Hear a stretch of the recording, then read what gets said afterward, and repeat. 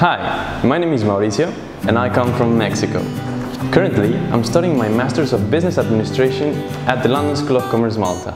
So far, my experience has been great, since the program is very well structured and the lecturers are very well prepared.